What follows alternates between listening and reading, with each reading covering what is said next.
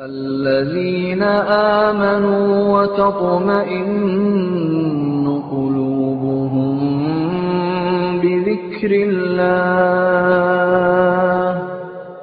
ألا بذكر الله تطمئن القلوب.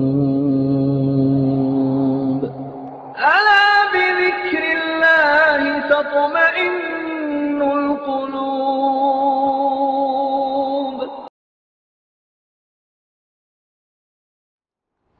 السلام علیکم ورحمۃ اللہ وبرکاتہ۔ ناظرین، آؤ اسکار اور دعائیں سیکھیں۔ اس محفل میں ہم آپ کا استقبال کرنے جا رہے ہیں۔ ناظرین، آپ اپنی روزمرہ زندگی میں دیکھتے ہوں گے کہ ہمارا دل صبح میں کچھ چاہتا ہے، دوپہر میں کچھ چاہتا ہے، شام میں کچھ چاہتا ہے۔ جب ہم دین کی باتیں سنتے ہیں تو کچھ ہوتا ہے جب ہم جمعہ کے موقع پر خطبہ سنتے ہیں تو کچھ رہتا ہے۔ جب ہم کسی دینی جلسے میں رہتے ہیں تو کچھ رہتا ہے۔ جب ہم اکیلے میں ہوتے ہیں تو کچھ ہوتا ہے۔ اچھے دوستوں کے ساتھ رہتے ہیں تو کچھ اور ہوتا ہے۔ برے دوستوں کے ساتھ رہتے ہیں تو کچھ اور ہوتا ہے۔ ہمارا دل بدلتے رہتا ہے۔ ہمارا دل صبح میں الگ، شام میں الگ اور رات میں الگ، دن میں الگ الگ الگ طریقے سے بدلتا رہتا ہے۔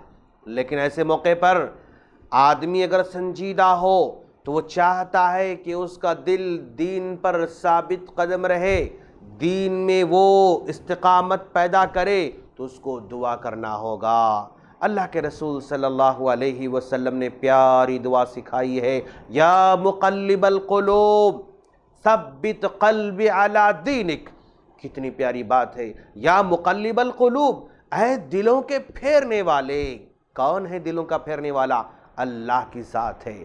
انسان کا دل اللہ تبارک و تعالیٰ کے دو انگلیوں کے درمیان ہے۔ وہ جیسے چاہتا ہے بدل دیتا ہے۔ وہ جس طرح چاہتا ہے بدل دیتا ہے۔ وہ جب چاہے بدل دیتا ہے۔ زندگی بھر گناہ کرتا ہے بندہ۔ آخر میں اللہ دل بدل دیتا ہے، نیک بن جاتا ہے۔ زندگی بھر نیکیاں کرتا رہتا ہے۔ آخر میں اللہ دل بدل دیتا ہے، گنہگار بن جاتا ہے۔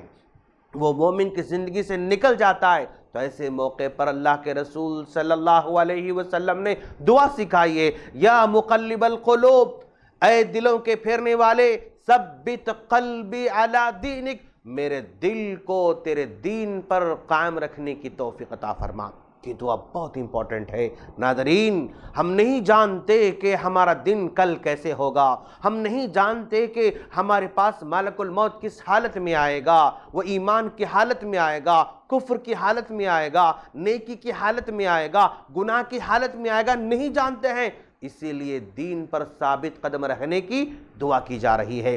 آپ بھی ضرور دعا کرتے رہیں۔ یا مقلب القلوب، ثبت قلب علی دینک۔ اپنے بچوں کو سکھائیں، یا مقلب القلوب، ثبت قلب علی دینک اپنے بیوی کو سکھائیں، یا مقلب القلوب، ثبت قلب علی دینک اپنے گھر کے در دیوار پر لکھ دیں، یا مقلب القلوب ثبت قلب علی دینک، اپنے گھر کے ڈرائنگ روم میں لکھ دیں، یا مقلب القلوب ثبت قلب علی دینک، آپ کے گھر کے آنگن میں لکھ کر لگا دیں، یا مقلب القلوب ثبت قلب علی دینک، آپ کے دکان پر لکھ کر لگا دیں، یا مقلب القلوب ثبت قلب علی دینک، اپنے گاڑی میں لکھ کر لگا دیں، یا مقلب القلوب ثبت قلب علی دینک۔ جہاں جہاں آپ کے نظر پڑے گی، یہ دعا آپ کو یاد آتی رہے۔ اور یہی ہماری خواہش ہے کہ اللہ ہم تمام کے دلوں کو اس کے دین پر باقی رہے، باقی رکھے۔ اللہ سے دعا ہے، اللہ تعالی ہم تمام کو اس طرح کی چھوٹی چھوٹی دعاؤں کو اپنی زندگی میں لانے کی توفیق عطا فرمائے۔